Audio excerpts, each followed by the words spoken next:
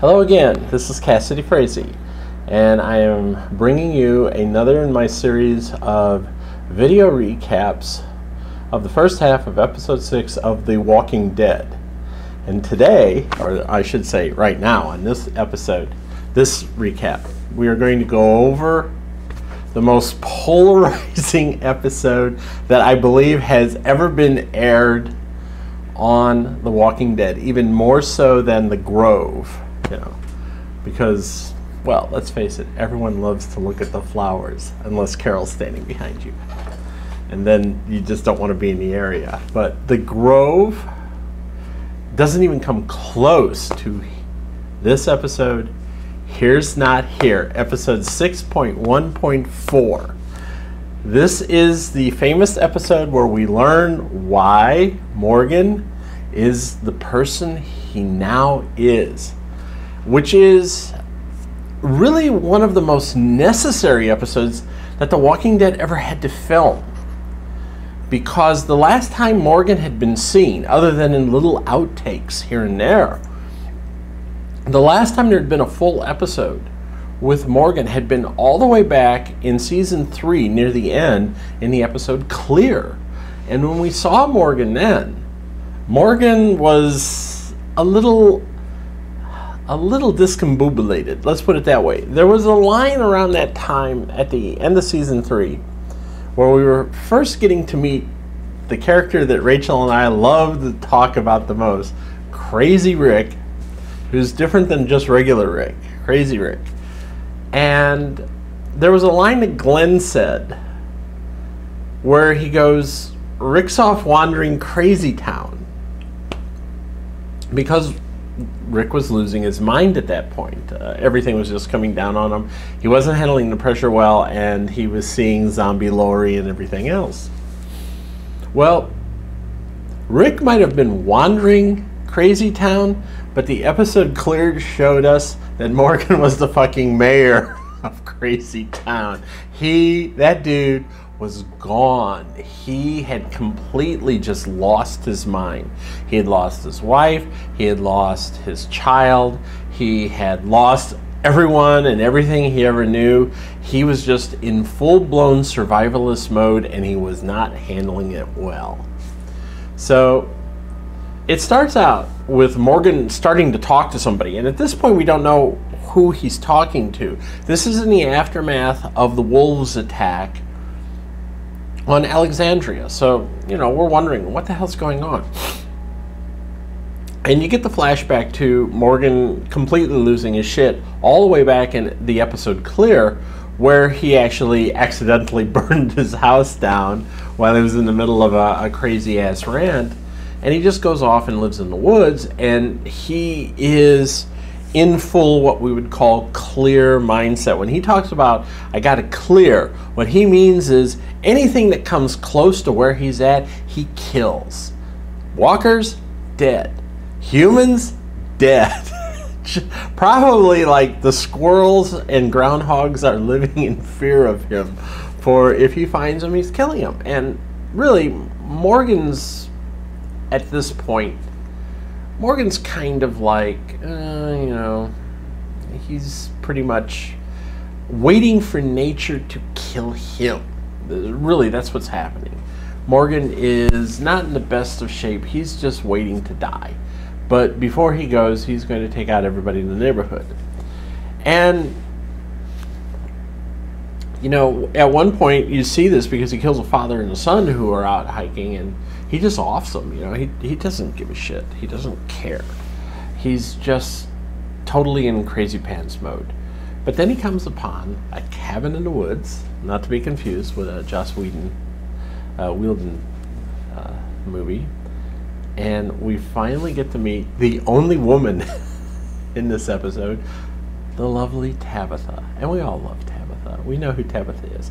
Tabitha's a goat and he heard he hears Tabitha's bleeding, which is what attracts him to it. And then, of course, he's warned off and told to leave, and that is when he gets knocked out, and we eventually meet Eastman, who, in his former life, uh, was actually a he was a, a staff psychologist, and he worked at one of the local prisons, probably the prison where Rick and everybody was holding up. But anyhow, um, yeah, that could be possible. You never know. Morgan wakes up in a cage, and you gotta ask yourself, why does a guy have a cage out here in the middle of nowhere uh, in a house? And well, of course, Morgan's not asking those questions. Morgan's basically telling this guy to kill him.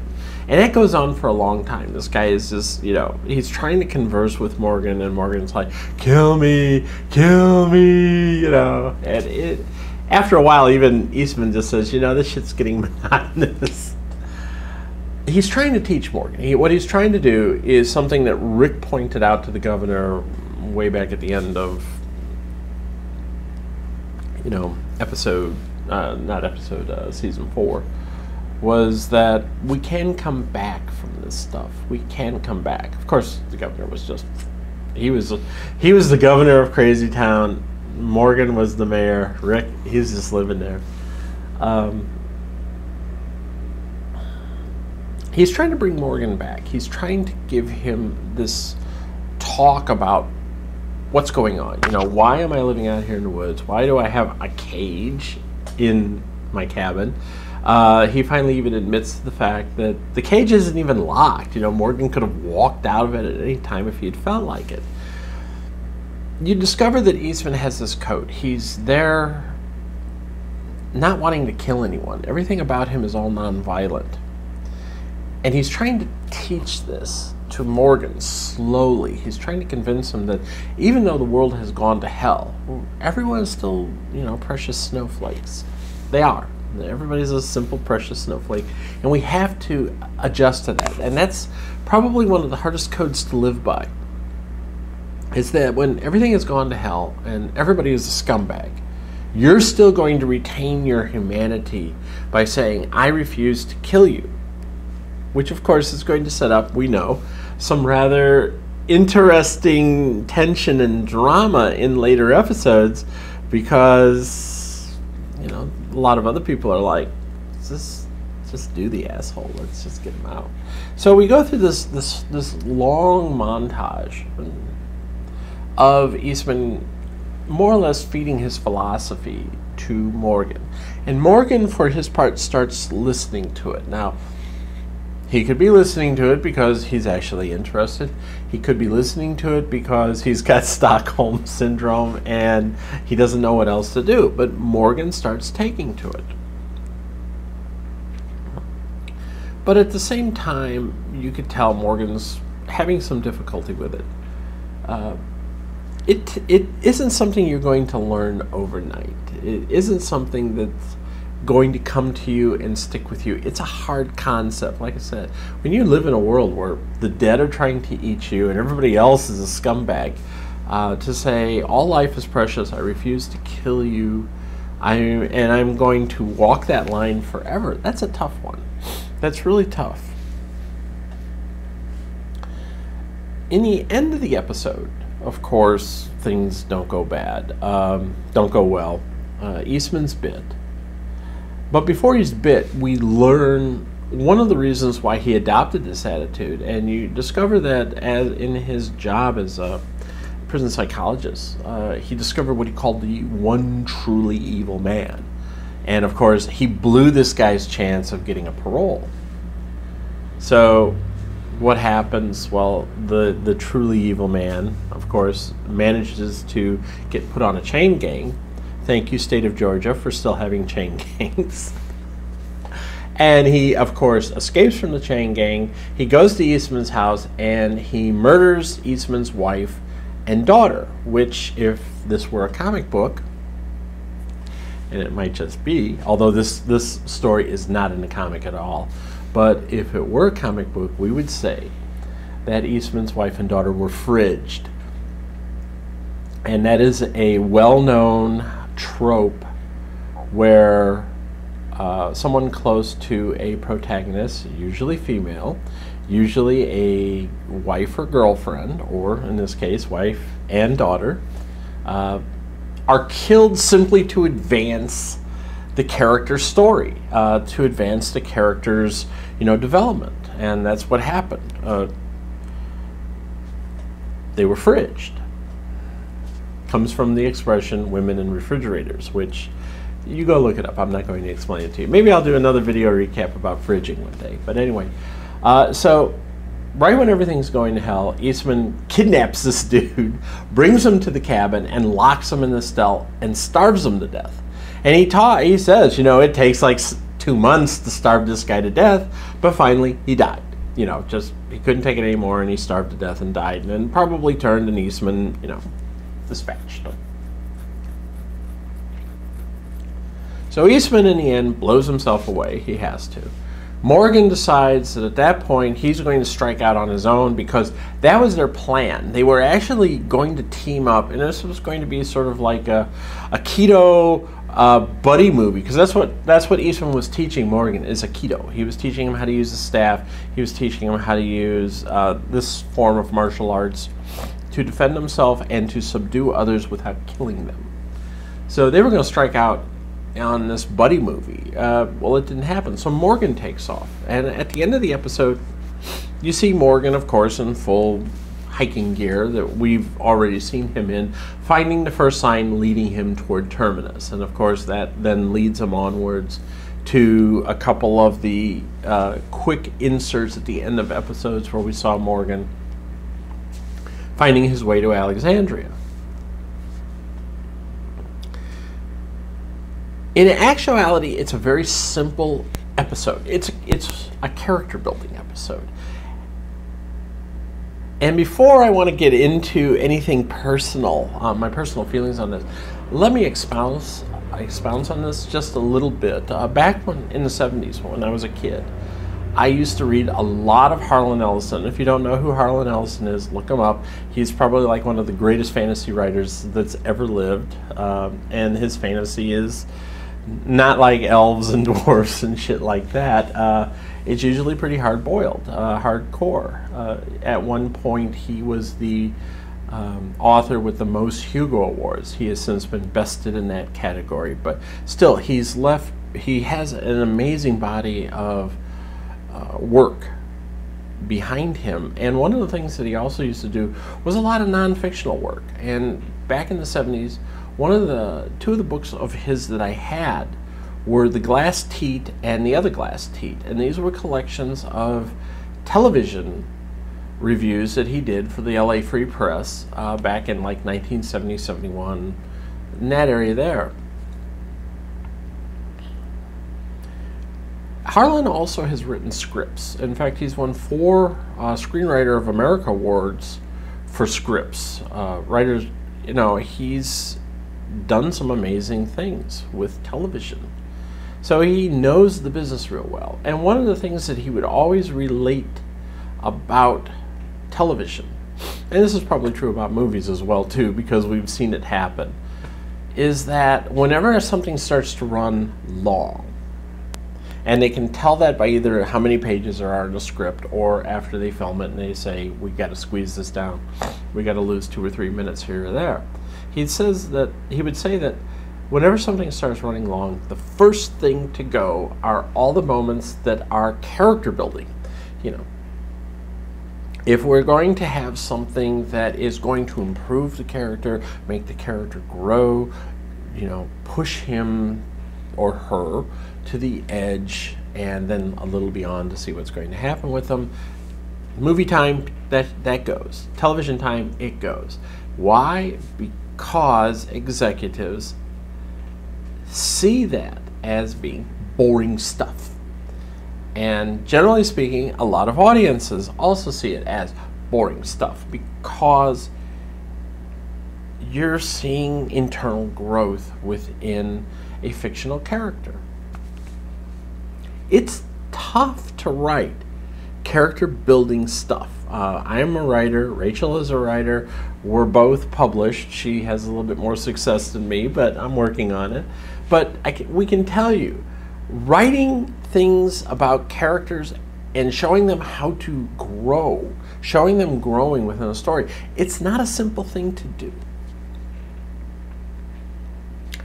Here's Not Here is nothing more than 65 minutes of character building. That's it. It's a 65 minute episode. It ran for 90 minutes when it was on AMC.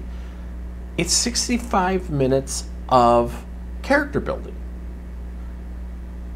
And that bored the shit out of most viewers. You know, uh, when I say this is a polarizing episode that you either love it or you hate it. You either love it because you love the insights into Morgan's character. You love to see how he went from the mayor of Crazy Town to, you know, Master Splinter and he's looking for his own little ninja turtles to, to train.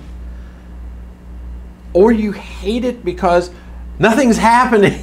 Nothing is going on. No zombies are dying. There's no there's no mass crazy shit going on. You know, it's just two guys learning staff forms and that's it.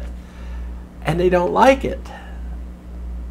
It's a real tough thing. And it's also one of the things that if you really press people about it, it's really the the main reason why they'll say I didn't like season two of The Walking Dead because there's not a lot going on.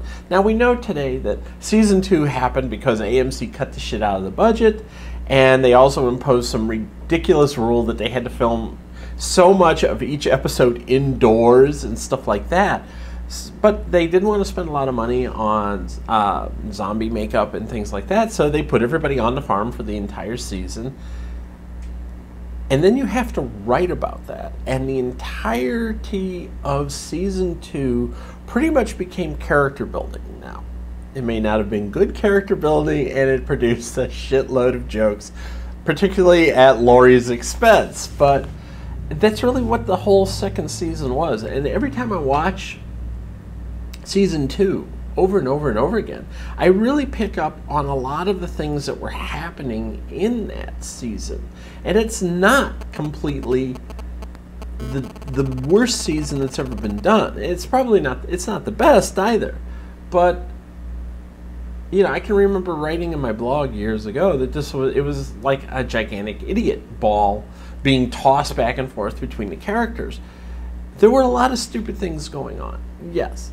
But you were also seeing the aftermath because really the incidents on the farm were only a few weeks after the start of the zombie apocalypse. Uh, when we see Rick come out of his coma in days gone by, you know, a few weeks later, we're really just seeing like a couple, three weeks down the road.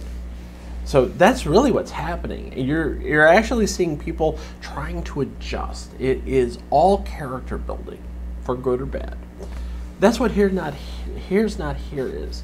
It's all character building, and it a lot of it drove people crazy. They didn't want to see Morgan. They wanted to know how Morgan got to be this person, but they didn't want to see it. And they wanted to think that, you know, maybe what happened was Morgan just turned, you know, full on old hood crip uh, slaughtered like you know a thousand dudes, and then finally just said, you know what, I'm tired of the life.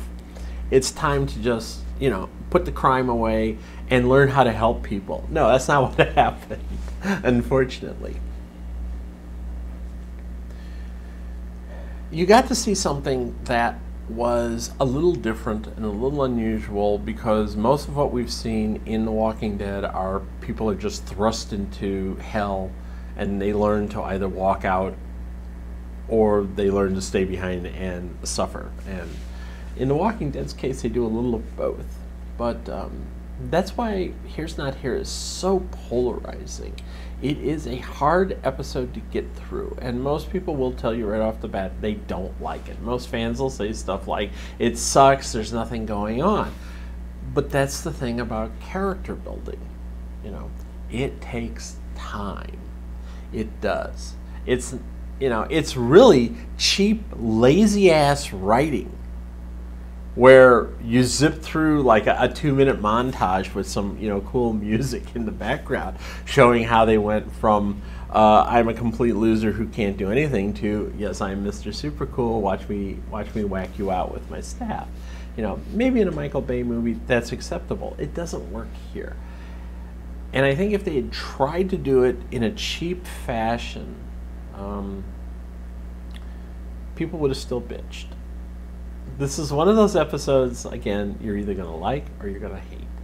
Most people hate it. I personally, big surprise, I personally liked it. I think it was a good departure, especially from all the misery and shit that's happening in season six and is going to continue to happen in season six. Because if you know the comic, you know what's coming, and it is not going to be pretty. So, this was a nice little departure from all the misery porn that we hear about.